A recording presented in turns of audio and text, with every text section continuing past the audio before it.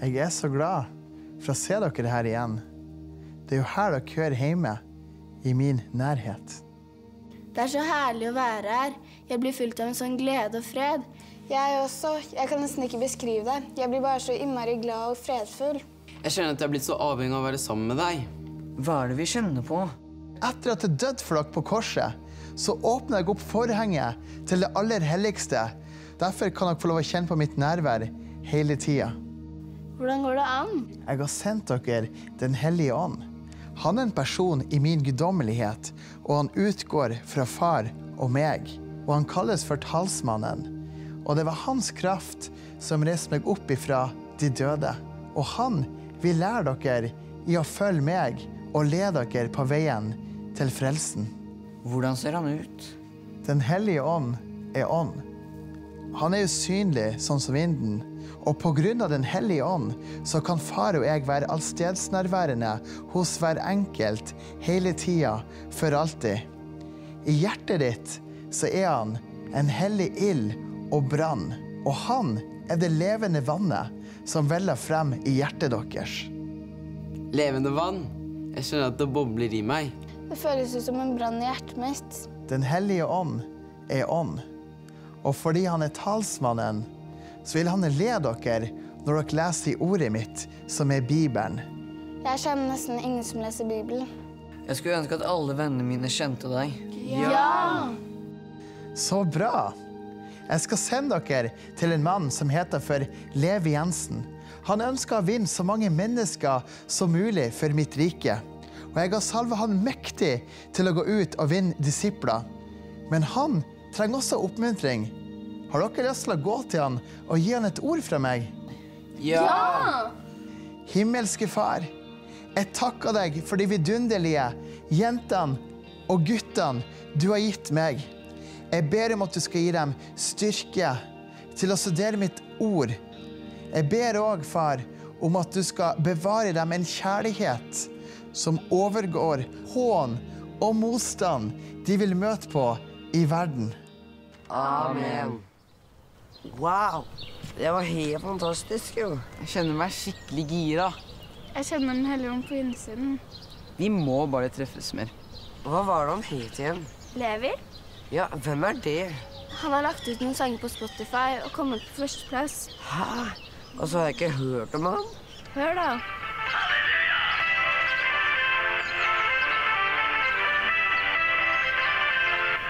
Er det han Jesus vi skal møte? Jepp. Hvordan gjør vi det, da? Det er bare å ringe han. Jeg tror det står ved Instagrammen hans. Her er det. Hvem skal ringe? Du kan gjøre det. Jeg? Ja. Ok.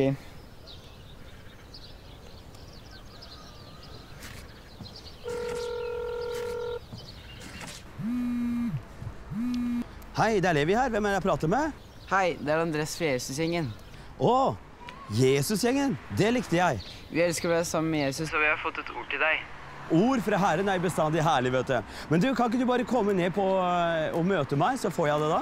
Hvor kan vi møte deg, da? Du, jeg har et meetup i Hokksund senere i dag, og da ønsker jeg at dere kommer, vet du. Og kan være med på det. Ja, ok, greit. Vi ses, da. Ha det. Yes! Vi må være med flere. Ja! Kom igjen. Kom igjen. Ja, kjør på. Ikke så mye. Men du, blir du med på meetup, som er klokken tolv, sammen med Levi på skateparken? Ja, selvfølgelig. Nice, da. Hei, Sara. Hei! Blir du med på meetup med Levi i dag? Klokken tolv i skateparken. Ja, det vil jeg!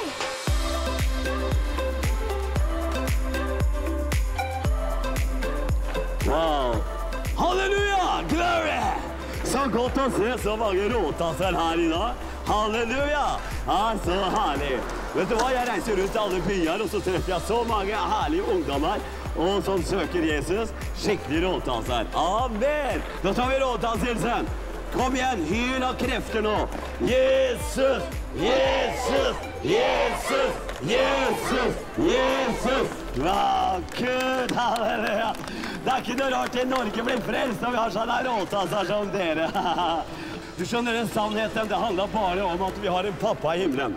Du skjønner at en, en gud i himmelen, han, ville, han var ensom, og han ønsket å bli pappa til mange, mange, forstår du?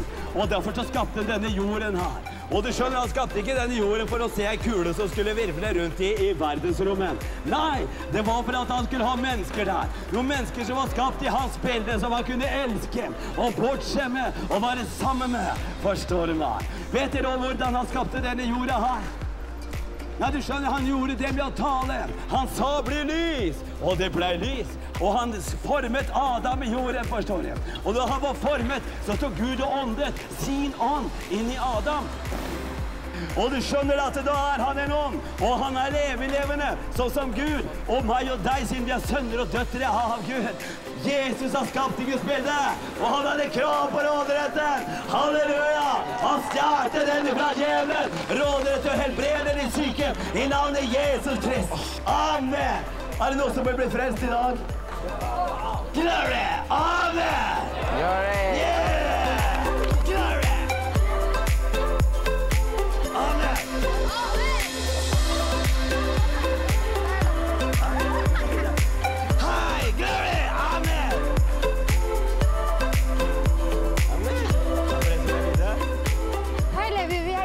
Er Det er vi som ringte deg med at vi hadde et ord til deg for Jesus. Det er så herlig, da. Kan ikke dere bare være med og så be for den som trenger forbønn?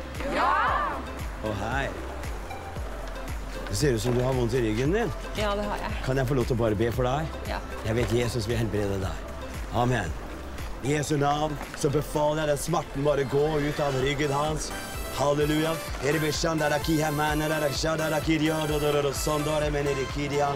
Taler helbredelse av hans rygg nå. I Jesu navn. Amen. Amen. Wow! Vask meg ren med ditt blod, Jesus. Vask meg ren med ditt blod, Jesus. Takk, himmelske Far. Takk, himmelske Far. Nå er jeg tilgitt. Nå er jeg tilgitt. Amen! Glory! Nå er du frelst. Ha det bra, da. Ha det. Du, mitt navn er eh, Levi Jensen. Kan jeg få lov til å be for deg? Ja. Så fint. Jeg kjenner Jesus, han elsker deg. Halleluja. Takk, himmelske Far. Jesus, jeg takker deg for at du elsker denne unge jenta her. At du bare omfavner henne med din kjærlighet, Jesus. At du helbreder henne på alle områder, Jesus. Fyll hennes hjerte med din hellige ånd, og kron henne med din visdom i Jesu navn. Amen. Halleluja. Halleluja. Ikke gi Jesus opp. Han bare heier på deg, vet du. Glory to God. Amen. Så kult at de tar imot Jesus. Ja, hvordan gjør du det? Nei, det er ikke jeg som gjør det, vet du. Det er Jesus som gjør det. Hvordan møtte du Jesus? Ja, det er en veldig spesiell historie, for jeg, på, jeg var veldig syk, og så holdt jeg på å dø. Og så kjente jeg at jeg var på vei ut av kroppen. Jeg liksom så skallen på utsida. Det var helt sykt. Og da ble jeg livredd. Jeg tenkte nå går jeg til helvete. Og derfor så ba jeg masse hele natta. Og da fikk jeg så sterkt møte med Jesus. Jeg fikk en brann med Den hellige ånd i mitt indre. Og, og det var veldig godt. Og det, det som skjer seinere, er jo det at jeg fikk stort syn av Jesus. Han gikk jo på torvet, og jeg så Jesus som en svær kjempe. Og så så jeg han gikk sånn og så gråt, for menneskene var bare sånn små opp til kneet hans. Og for Han fikk ikke kontakt med dem. Han elska dem, men han fikk ikke kontakt med dem. Og det ble sorg i mitt hjerte. Og jeg, jeg tenkte at det her må jeg gjøre noe. Jeg må få menneskene til å se på Jesus. Og da begynte jeg å lese Bibelen, og jeg begynte å gå ut og preke om Jesus. Amen. Nå vil jeg gi deg ordet som Jesus ga til oss for å gi til deg. Wow, få høre. Jeg elsker deg, og takk for jobben som du gjør for meg. Det skal bli bønnesvar, og det skal bli vekkelse. Glory! Halleluja!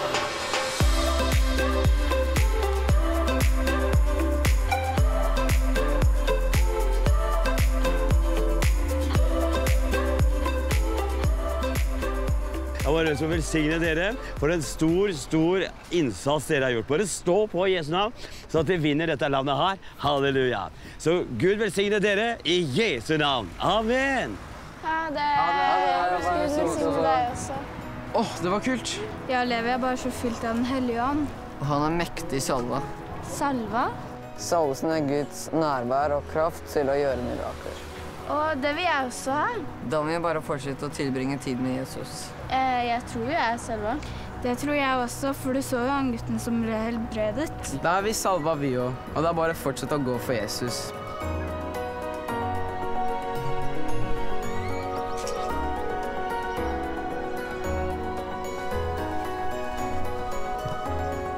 Ja, men dere, Skal vi ikke be Fader vår? Jo!